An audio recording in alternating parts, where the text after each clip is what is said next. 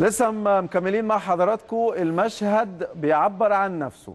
النهارده كرنفال احتفال. قول زي ما تقول. النهارده الأهلي بينتخب. مستقبل النادي الأهلي الآن يقرره أعضاء الجمعية العمومية بالنادي الأهلي.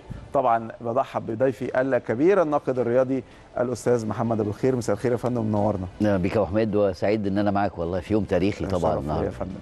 طبعا حضرتك أكيد شاهدت ال ال ال هذا الحشد الهائل هذا المنظر الجميل العظيم اللي بيبين آه، وعي الجمعيه العموميه في النادي الأهلي حضور وإقبال غير مسبوق للجمعيه العمومية. كلمني كيف شاهدت المشهد منذ الصباح وحتى الآن؟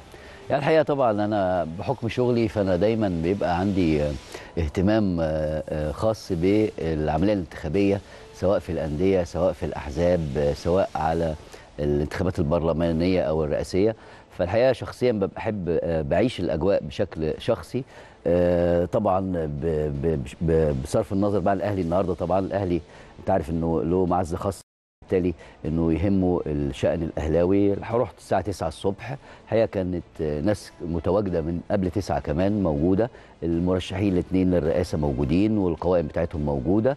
آه، الجديد السنة دي طبعا الناس مش واخدة بالها إنه آه، في آه، عملية يعني أنت المشهد العام من من الخارج ي- بيدي رسالة لل- للبعض. إنه ممكن إنه ما أنتش عارف ده تبع مين وده تبع مين. لأنه العملية فكرة إنه أول مرة النهارده الانتخابات أو الدعاية الانتخابية تبقى ممنوعة في الأندية مفيش دعاية انتخابية ممنوع إنك تدخل مثلا دعايه انتخابية في الخيمة. فأنت كنت دايما متعود زمان في الانتخابات السابقة لحد الصندوق بتلاقي واحد يقول لك انتخب محمد فاروق انتخب محمد أبو الخير انتخب مش عارف مين انتخب رمز إيه؟ يعني فبتبقى لأنه دايما في العملية الانتخابية الناس المحترفة قوي حريصة إن هي توصل صوتها حتى قبل الصندوق وأنت بتعمل. يعني لو مش هيديك لعل